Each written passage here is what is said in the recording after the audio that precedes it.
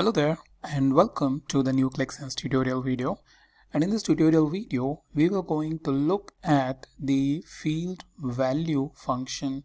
So in the previous video if you remember or if you have watched it we have looked at the field index function which is helpful in scenario where you want to pick the location of a value in a field. So field is customer segment. And let's say we want to know the location of home office and that's basically 3 so we used the field index function. Now if you based on the location of the field value you want to know what is the actual value then you will going to use the field value. So for example we want to know the name the value of the field at element number three which is nothing but the home office.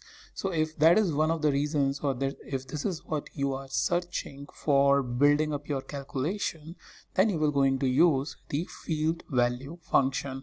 So how you can do that is by coming over here in column come over here in measure and over here you will say field value.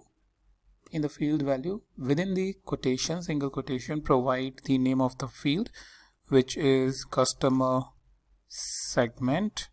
And then the value is sorry the element number is 3 all right so if I click apply what you get as an output is home office. So this can be very helpful in when you are probably evaluating what is present at the location or any particular location you want to know what that particular value is so that you can supply in some sort of a condition within if or in set analysis or somewhere else based on the uh, part of the logic of your entire calculation.